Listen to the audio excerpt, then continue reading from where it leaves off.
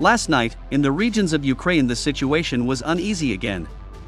As it turned out, on the night of April 20th, Russian combat aviation, along with missile forces, launched another massive missile strike on the territory of Ukraine. This Russian missile strike was once again not only massive, but also combined.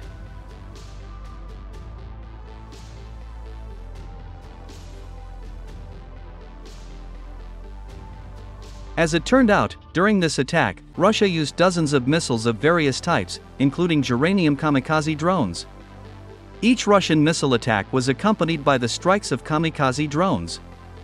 Throughout the night, the air alert sounded in such regions of Ukraine as Kharkiv, Dnipropetrovsk, Poltava, Kirovograd, Cherkasy, Vinnytsia, Nikolaev, Odessa, Zaporizhia, and Sumy.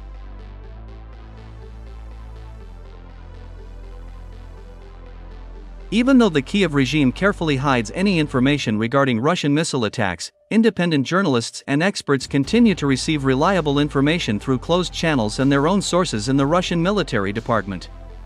My friends, you must understand that with these daily massive missile strikes on military facilities and the energy infrastructure of Ukraine, Russia pursues two goals. First, to reduce the military technical and military industrial potential of Ukraine, in order to prevent the strengthening of the Ukrainian armed forces at the front.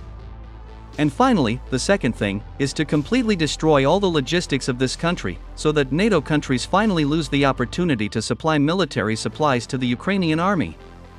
And judging by the numerous successes of the Russian army on the battlefield, daily massive missile strikes on the territory of Ukraine have already begun to produce results.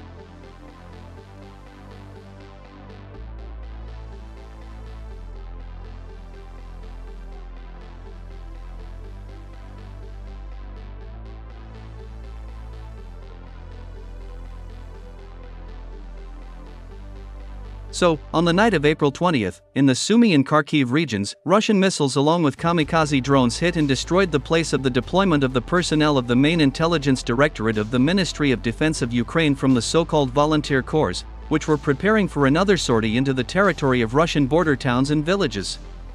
As a result of this missile attack, dozens of militants were killed, including high-ranking officers of the Ukrainian Security Service and the Armed Forces of Ukraine.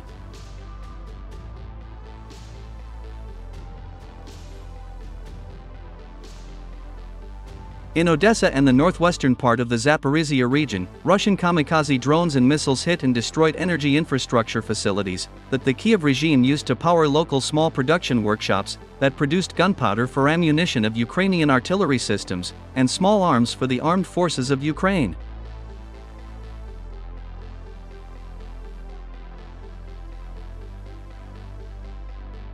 By the way, it is also worth noting that Russian missiles once again hit an airbase of the armed forces of Ukraine in the city of Konotop, in the Sumy region. It is reported that this airbase has suffered significant damage. Moreover, numerous warehouses on the territory of this airbase were also destroyed, where unmanned aerial vehicles were stored and used by the armed forces of Ukraine in attacks on Russian oil refineries.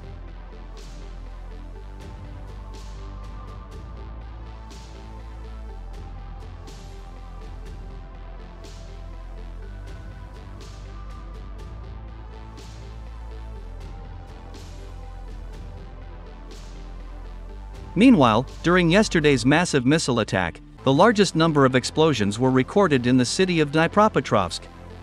As it turned out, Russian missiles and kamikaze drones destroyed the transport infrastructure in this city, which the Kiev regime used to send troops to the line of combat contact and receive military supplies from NATO countries.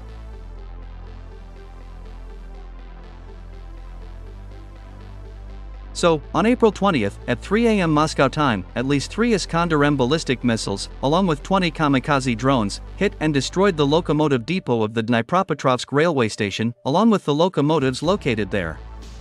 Moreover, Russian missiles also hit a section of the railway, near the Dnipropetrovsk railway station.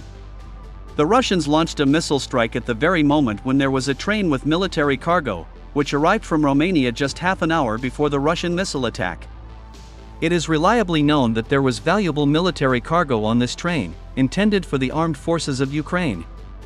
In particular, we are talking about dozens of Western artillery systems as well as tens of thousands of 155mm shells. The destroyed artillery systems were mainly Polish Krab self-propelled guns and German Panzerhaubitze 2000 artillery systems.